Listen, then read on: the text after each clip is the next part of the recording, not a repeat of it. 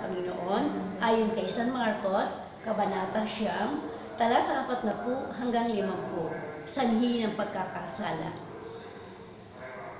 Mabuti pa sa isang tao ang siyang bitina ng isang malaking gilingang bato sa liig at itapon sa dagat kaysa maging sanhi ng pagkakasala ng isang maliliit na ito na nananalig sa akin.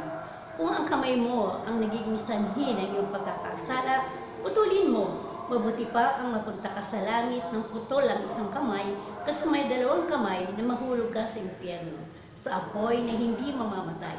Hindi mamamatay ang mga uod na kumakain sa kanila at hindi mamamatay ang apoy. Kung ang paa mo ang naging sanhi ng iyong pagkakasala, putulin mo. Mabuti pa ang mapunta ka sa langit ang putol ng isang paa kaysa may dalawang paa ka na mahulog ka sa impyerno.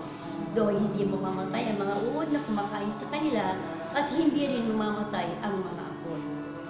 Sa pagkakataong ito, habang ako ay nagninilay, muli kong naaalala ang aking isang kaibigan. Sa edad na 23, ako po ay pumasok ng konsilyo at hindi ko alam na dito ko siya makikilala ng lubusan.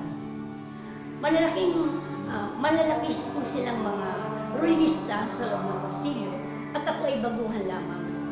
Subalit, nasasaktan ang aking kalooban kapag ako ay, sabi nga ay, hindi pinahahalagahan ang aking mga sinasabi dahil ako nga po ay baguhan pa lang. Subalit, ginawa ng Diyos na ako ay maging moderator ng konsilyo sa loob ng labing dalawang taon.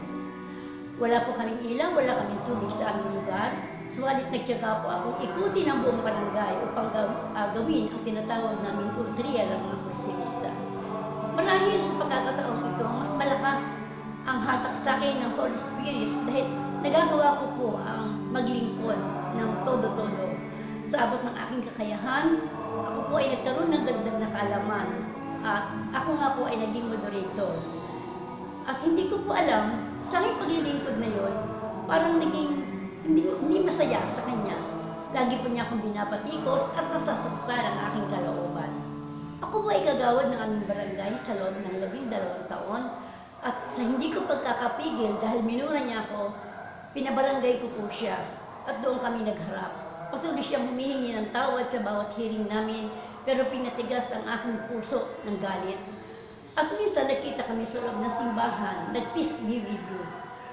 Subalit, nagkas magkasamang nagtapatan kami na nag-peace be with you kami dalawa, pero andun pa rin po ang galit sa aking puso. Pagkatapos ng misa, kami po ay nagkaroon ng hearing.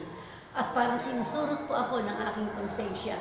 Doon po ako umiyak at pinatawad ko po siya.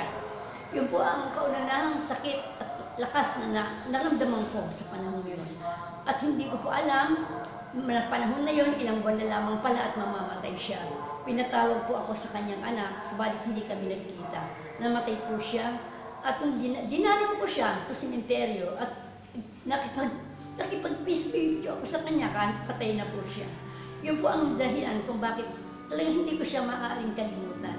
Ang maliit, kung, kung gusto ng Diyos itaas, ay sadyang itinataas. At ang hindi marunong, kung gusto ng Diyos na bigyan ng karunungan, ay kinabibigyan ng karunungan. Sa ngayon po, ako ay isa ng kursilista dito sa diocese namin. At sa parokya ng Most Holy Name of Jesus, patuloy ko pong ibinibigay ang aking lakas sa Panginoon. Ako po ngayon ay 72 years old na at nasa simbahan pa rin po at ako inananalig na hindi ako pababayaan ng Diyos. Ang lahat ng ito ay tinataas ko sa inyo in the name of mighty God the Father,